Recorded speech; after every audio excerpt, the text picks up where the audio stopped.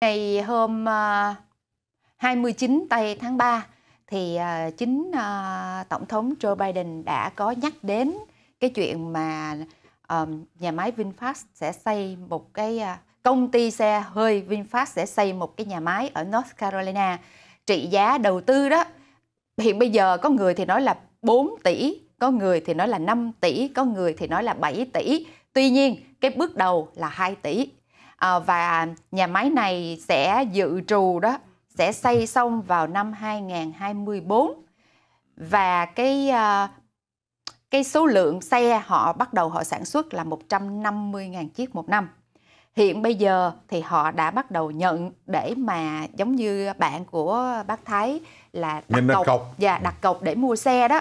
Thì xe của họ hiện tại bây giờ đó, cái chiếc VF8 nó được uh, kêu giá là 41 ngàn và chiếc VF9 á, là khoảng 56 ngàn.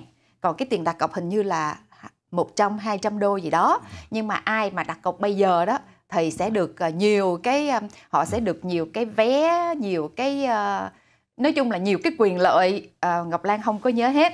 Tuy nhiên cái chuyện mà đặt cái à, nhà máy xây cái nhà máy ở đây ở trên khoảng mà 2.000 acre rồi à, tạo cái công ăn việc làm cho 7.000 rưỡi đến 13.000 à, cái công ăn việc làm cho cái tiểu bang à, North Carolina. Nói chung là nó cũng gây xôn xao nhiều. À, trong thời gian mấy ngày vừa qua thì tất cả các báo chí mà lớn đều đưa tin này hết. Họ nói rằng là uh, một cái công ty cũng vẫn đang gọi đó là công ty khởi nghiệp bởi vì à, VinFast chỉ mới được thành lập từ năm 2017 thôi, đến bây giờ là chưa tròn 5 năm.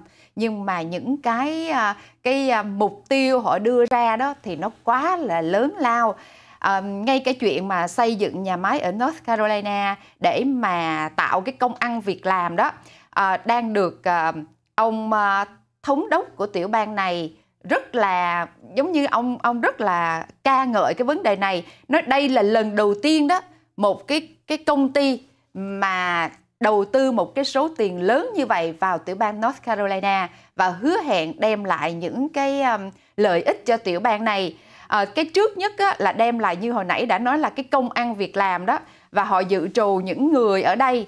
À, theo các này là các báo Mỹ mà đây là cái bài của trên ờ, BBC tiếng Việt.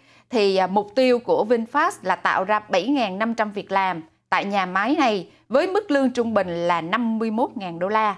Trong khi cái lương trung bình hiện tại bây giờ của những người đang làm việc ở nơi đây chỉ mới có 41.000 đô la mà thôi. Nhưng mà VinFast hứa hẹn sẽ đem lại cái mức trung bình là 51.000. Ờ, à, rồi cái công suất dự trù đó là giai đoạn 1 là 1.500 xe mỗi năm. À, nói chung là rất là nhiều.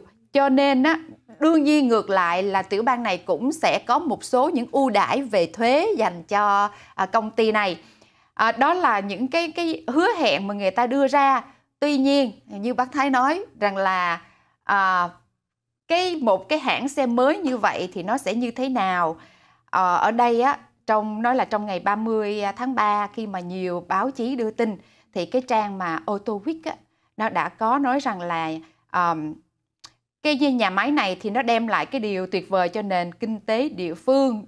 À, nếu như mà VinFast hoàn thành trong thời à, hạn gấp gáp này thì điều đó là một cái điều ấn tượng.